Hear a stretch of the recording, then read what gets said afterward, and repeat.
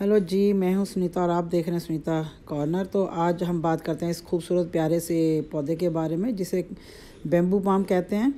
क्योंकि इसके ये जो, इसकी ये जो डंडियाँ हैं, ये बेम्बू जैसी, बेम्बू की डंडियों जैसी ही लगती हैं। इसीलिए इसको बेम्बू पाम या केन पाम कहते हैं। और ये कभी पत्ते नहीं झाड़ता अपने। मैंने, मेरे पास तीसरा साल है इसको। और मैंने ये कटिंग से लगाया था। कटिंग का मतलब ये नहीं कि मैंने काट के इसको लगाया था। मैंने इसको, जो पौधा था उससे अलग किया था तो इसके नीचे उसकी शूट्स भी थी। तो ये अपने आप फिर चल पड़ा, इसने जड़ पकड़ ली। बरसातों में लगाया था मैंने तो इसको दो तीन साल हो गए। तो ये बहुत ही इजी ग्रो पौधा है, इसको ज़्यादा कोई दिक्कत नहीं है। और ये मेरी एली को मैंने इसमें डिब्बे में डाल दिया आज, क्योंकि ये फिर बहुत परेशान करती है। तो मैंने बोला, इसको तुम यहाँ बैठ जाओ। तो आते हैं पौधे के ऊपर। ये देखिए, इसके नए शूट्स आ रहे हैं। इसके नए निकल रहे हैं, पौधे नए बन रहे हैं। अगर आपको कटिंग करनी हो तो इस, यहाँ से इसको निकाल के लगा सकते हैं। इसके नीचे जड़ होनी ज़रूरी है। ये देखिए, ये इसके नए पत्ते आ रहे हैं। सर्दियों का महीना है, दिसंबर ख़त्म हो रहा है। और ये देखिए, इसमें ये फूल भी आया हुआ है।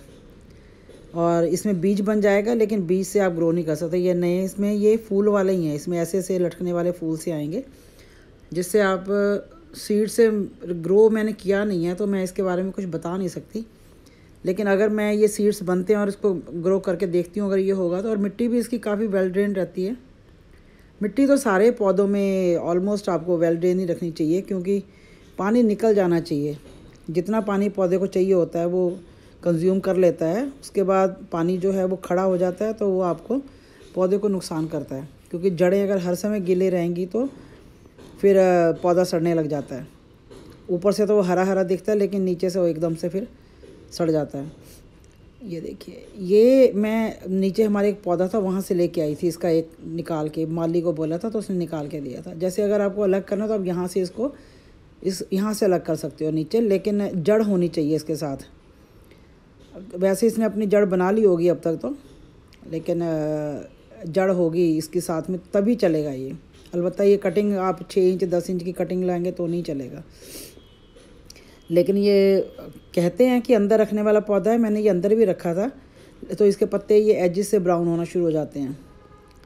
तो अगर एजिस से पत्ते ब्राउन होते हैं तो आप कितनी भी कोशिश कर लें, फिर वो सर्वाइव नहीं करता पौधा।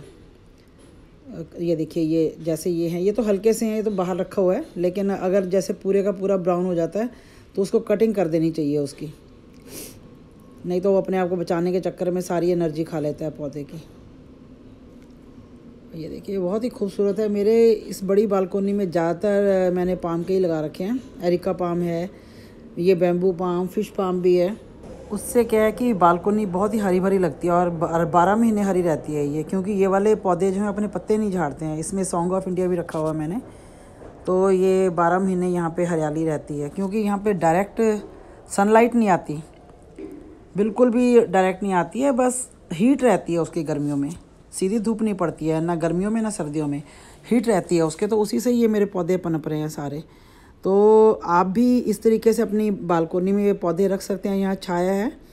वहाँ पे ये वाले पौधे आप ज़रूर रखें, ताकि वो चलें और आपको अच्छा लगे।